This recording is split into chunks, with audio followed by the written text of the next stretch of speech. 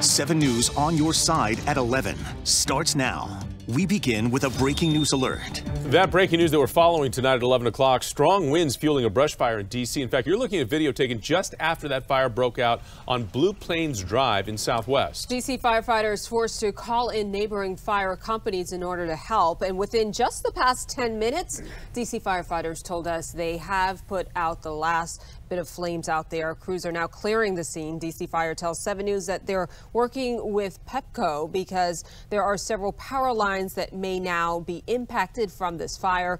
And they're working to figure out if it was a down power line that sparked this fire. No buildings are in that immediate area. Well, the First Alert weather team has been on wind alert all day. We just got this new image of a down tree in Alexandria, just one of several that we've seen in our area. This is on King Street, just north of I-395. Tonight, the road is closed between Park Center and Northampton Drive. So the wind could also cause some more problems for the morning commute. 7 News Chief Meteorologist Veronica Johnson. She's timing this out for us in the First Alert Weather Center. Hey, VJ. Hey there. Yeah, the winds are slowly coming down. Good evening, everyone. But still in the morning, look at this. Our winds still over 30 miles per hour. It could be between uh, 35 and 40 mile per hour gusts for your morning rush. By noon, we'll see them drop to 30 mile per hour gusts, and then afternoon down to 25 mile per hour gusts. So at least for the early part of your day tomorrow, it's still going to be quite windy. We still could see some limbs down, some debris blowing around. That wind alert up again until noon tomorrow. So keep that in mind you plan out your day.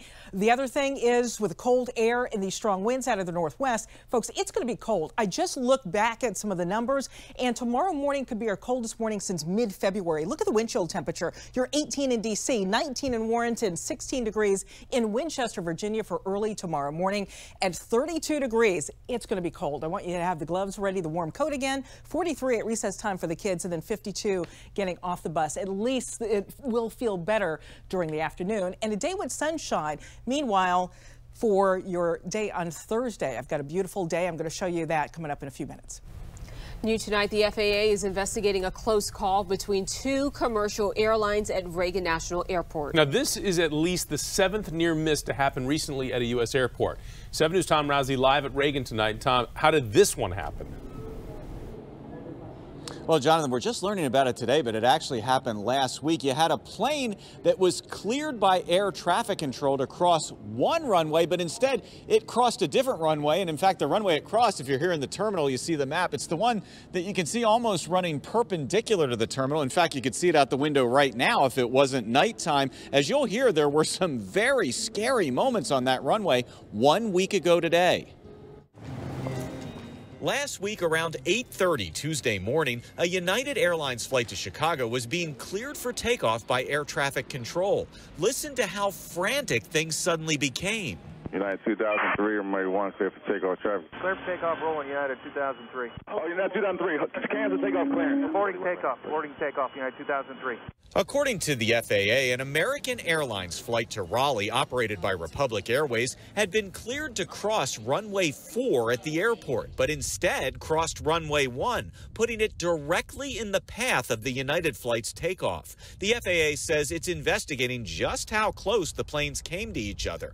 This is one of a number of recent incidents nationwide in which planes came dangerously close to a collision on runways. And at the gate last week in Boston, one United plane being towed with passengers hit another. What the heck is going on in air travel? Last Wednesday on Capitol Hill, acting FAA Administrator Billy Nolan talked about a safety summit he called for this Wednesday with industry leaders. He called it in response to all the recent near misses. We will sit and talk about what are you seeing, and then we'll give them an opportunity to go back to their operation, then come back to us with some concrete examples. All right, so what is the problem? Why does this keep happening? Well, one pilots association told us last week they believe it could be a situation where pilots are under a lot of stress because of a shortage of pilots. They're also fearful that new pilots maybe are not getting the training in the air that they should be getting. Now, that being said, some of the incidents that have happened recently seem to have been the fault of air traffic control. However, this incident at Reagan last week seems to have been the fault of a pilot, but the FAA does caution they are still investigating. Reporting live at Reagan National Airport, Tom Roussey, 7 News. Scary nonetheless. Tom, thank you for that. Right now, police are looking for the gunman who shot a man and a woman in Suitland, Maryland. Now, we first brought you this story as breaking news tonight at 6 o'clock. That shooting happened in an apartment building on Brooks Drive, right near Suitland High School. In fact, the man that was shot ran to the school after he had been wounded, and his staff members called 911. Now, the woman we're told is listed in critical condition. Neither of the victims appear to be connected to the school in any way.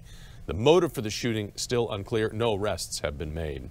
And that shooting came on the same day that President Biden signed an executive order to expand background checks for buying guns.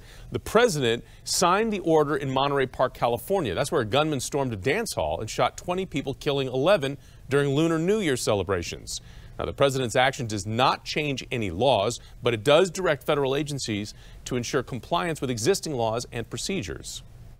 I continue to call on Congress to require background checks for all firearm sales. And in the meantime, in the meantime, my executive order directs my Attorney General to take every lawful action possible, possible to move us as close as we can to universal background checks without new legislation. Now, current federal law requires background checks to be run on all gun purchases from federally licensed dealers. Tonight, Loudoun County parents are making their voices heard as the district searches for a new permanent superintendent. The former superintendent was fired late last year after facing backlash for how the district handled two student sexual assault cases. It's a story that 7 News has followed closely as part of our crisis in the classroom coverage. Our Christian Flores attended tonight's input session to learn what parents want to see in their next school leader. Tonight was the first of three feedback meetings, this one over here at Dominion High School. Parents here all seem to be on the same page. They want to see the end of the divisiveness the school district has seen in recent years. I'd say the last few years have been challenging. After former Loudoun County Public Schools Superintendent Dr. Scott Ziegler was fired in December, parents say they're ready for a fresh start. The assaults, the, the, the two young ladies, I thought the, the, whole thing was just despicable. Over the last few years, I think I think there's a lot of angst, anger. I think there's a lot of skepticism, cynicism. A lot of us wanted to communicate the importance that trust had been shattered across the community and that we are really seeking someone who can help rebuild that trust. Parents are looking for a superintendent who represents all students, regardless of the political climate surrounding schools right now. Someone who uh, had really good listening skills, who was open to hearing all voices, who was politically astute in that they were savvy enough to deal with diverse points of view. I want to be sure that a small segment doesn't take over the direction that our school district is going for um, towards um, taking books off shelves. Right now, the district is in the process of getting feedback before taking applications and identifying candidates. They have hired a search firm to help. How much will, will parents' lives uh, on Dr. Ziegler inform what qualifications you're looking for for this next superintendent? I think it's really important that uh, we're looking forward. Mm-hmm. You know, and it's this isn't a conversation about what things have been done wrong in the past, but really, okay, where are we now, and, and where do we want to be, and who's going to be able to get us there? The district is aiming to fill the position by July 1st, ahead of next school year. This really is about education of our children and making the schools safe, welcoming places. There's another feedback meeting tomorrow at 1 p.m. at the District Administration Building in Ashburn. Another one on Thursday at 6:15 at Heritage High School. In Sterling, Christian Flores, 7 News. Top prosecutors from across Maryland are pushing for two bills that would better protect children from abuse and sex trafficking. The first is called the Safe Harbor Bill. It protects juvenile victims of human trafficking from being prosecuted for crimes that they commit while they're being exploited. We know that victims are not given a choice. They are forced, threatened to participate in some unimaginable acts. Now, the second bill would allow prosecution of certain adults outside of schools, like music teachers and coaches, if they engage in relations with 16 or 17 year olds. Critics of the bill say kids could take advantage of the laws to either commit crimes or hurt people in positions of authority. Well, tomorrow, Prince William County Police are going to be giving away more steering wheel locks. This has become a very popular program. This is all in response to the recent trend in which thieves have been targeting certain Kia and Hyundai cars. Now, Hyundai drivers can pick up free steering wheel locks tomorrow from 8 o'clock in the morning until noon at all police stations in Prince William County. And the police chief tells 7 News that during their last giveaway, these steering wheel locks were so popular that they were gone within the first hour. Hmm. Well, tonight we're learning more about the Russian plane that crashed into an American drone. The Pentagon revealed what else Russian pilots did. And weeks after a deadly Silver Spring apartment fire, Montgomery County's fire chief says three things that could have saved a life just did not happen.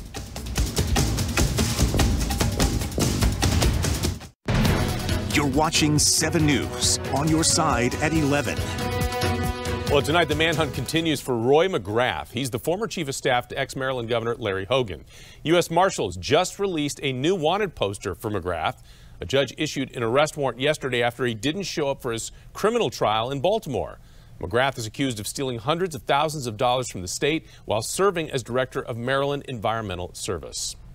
And the Pentagon now is shedding some more light about a U.S. surveillance drone that collided with a Russian jet over the Black Sea. Now, U.S. military officials say that the encounter lasted more than 30 minutes. This wasn't just a few seconds. This was going on for a while. One Russian jet dumped fuel on the drone. Then a second jet flew in front of it and wound up clipping the drone's propeller.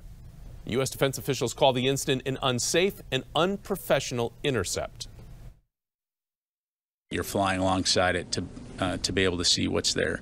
Um, in this particular case, though, again, uh, they collided with the aircraft, damaging the propeller uh, and essentially uh, putting in a situation where it was unflyable and uncontrollable, so we brought it down.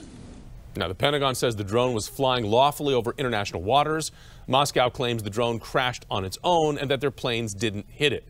It's unclear if the drone was armed, and the Pentagon's not going to say what technology was on board. It's been nearly one month since a woman was killed in an apartment building fire in Silver Spring. Today, Montgomery County's fire chief revealed three things that could have saved her life. The chief told council members the people who lived in the apartment that caught fire tried putting it out themselves and did not call 911. They also didn't close their apartment doors, which would have helped contain the fire.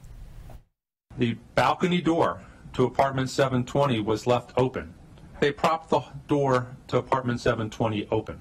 Thus, the deadly products of smoke and gases are now spreading un unchecked into the hallway. The chief also noted the building lacking automatic sprinklers in each apartment, an issue 7 News has followed since the fire. This was one of five deadly fires in Montgomery County since the start of the year. Well, President Biden says he will deliver the eulogy at former President Jimmy Carter's funeral when that happens. The 39th president requested it. Carter announced last month that he's receiving end of life care at his Georgia home. President Biden has known him since 1976 when he supported Carter's presidential campaign. At 98 years old, Carter now is the oldest U.S. president. Right now, the Justice Department and the SEC are investigating the collapse of Silicon Valley Bank. At this point, it is too early to know if those investigations uncovered evidence of wrongdoing, but the bank's failure will factor into the Federal Reserve's next decision on interest rates. The Fed now has to really rethink how much more aggressive do they want to get with interest rates. I mean, they don't, if they stop raising interest rates now, uh, does that mean inflation will start to pick up? We're expecting a final decision from the Federal Reserve on interest rates next Wednesday. Well, the federal government's going to spend $2.5 billion to add more electric vehicle charging stations throughout the country. Now, the grants will help strategically place chargers in underserved locations and connecting highways. Now, the Transportation Department says that they want to make sure having an electric vehicle is convenient, affordable, and accessible. Oh, we have some exciting news about the cherry blossoms. The National Park Service says peak bloom could come earlier than expected. The Park Service predicted peak bloom will happen March 22nd through the 25th, but now they say peak bloom could actually start on the early side of that timeline. And look at these beautiful cherry blossom protector badges. Fourth graders in Arlington made these designs. The National Park Service will give out three of these buttons in the Tidal Basin welcome area during the National Cherry Blossom Festival. And by the way, the festival runs March 20th to April 16th, and 7 News is a proud sponsor. Well, it's a sea of white in Massachusetts. We got some fresh video into our newsroom, and you can see the crews there working hard to get the power back on after heavy, wet snow pounded New England. And it may look pretty, but conditions are dangerous. In New Hampshire, a tree fell on a girl who was playing outside. It took 16 firefighters and three police officers to free her. She's in the hospital, but thankfully she wasn't hurt badly. All right, well, let's take a look at where the storm system is right now. Heavy wet snow continues to come down. We're getting the impacts from that nor'easter being felt here. Heavy snow, Boston, areas of eastern Long Island and around uh, Nantucket. And you go way over here, and all we have is a few uh, lingering snow showers on the west side of the mountains, a few scattered clouds, but still those high winds. They'll continue through the morning hours, gusts 35, close to 40 miles per hour in the morning, and then easing through the afternoon hours. Sunshine at least 52 your high temperature around 4, 5 o'clock, but it's going to feel again much colder throughout the day from teens in the morning to low 40s during the afternoon. I'm going to have a look at the zone cast to show you the morning wind chills in your area coming up. But look at how the temperatures climb to tomorrow. 30s really for much of the day, what it will feel like in the afternoon, and then so much better on Thursday, the way it's looking right now. We're close to 60 degrees. And your next weather maker here bringing rain to the area. Late Friday, have plans to go out. St. Patrick's Day celebrating. That rain continues until first thing Saturday. Then the rain moves out, maybe a few wet snowflakes first thing Saturday morning. So it's a wind alert through noon. You've got Thursday, best day easily out of the week. 64 degrees, sunshine, beautiful conditions, and maybe maybe over 65 degrees. Some areas down around Stafford and Fredericksburg, down through Quantico, even Baltimore. Friends up there at 62 degrees for a temperature during the afternoon. And then Friday again, you've got that rain moving in. Hourly look, 40s in the morning, 60s for the afternoon, but even the evening is going to be fairly mild. I've got that zone cast coming up in just a moment. Scott. VJ, thank you. The Howard University men's basketball team is about to do something they haven't done in over 30 years. Plus, Hoops Night in the district. Find out if the Wizards were able to pick up a much needed win over those Pistons. Sports is next. Stay with us. And now, the Toyota Sports Desk, sponsored by your Toyota dealers. The NBA regular season is one big roller coaster. Right now, the Wizards are on a speedy downhill.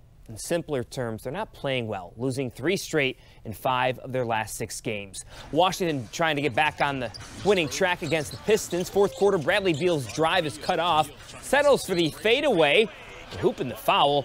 Now, Beal is just too good to give him this much space. The open three, no doubt about it. 36 for Brad.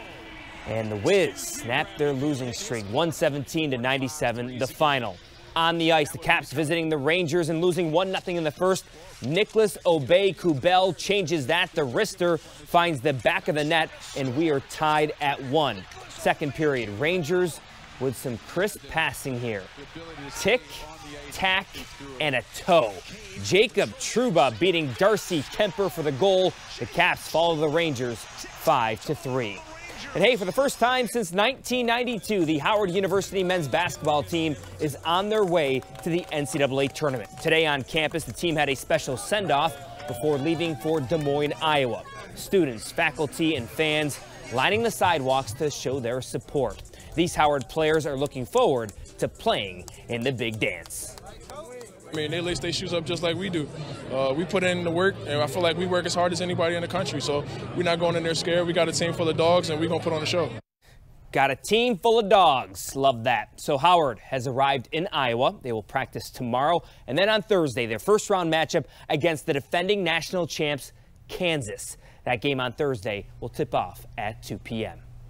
Now, your first alert weather zonecast.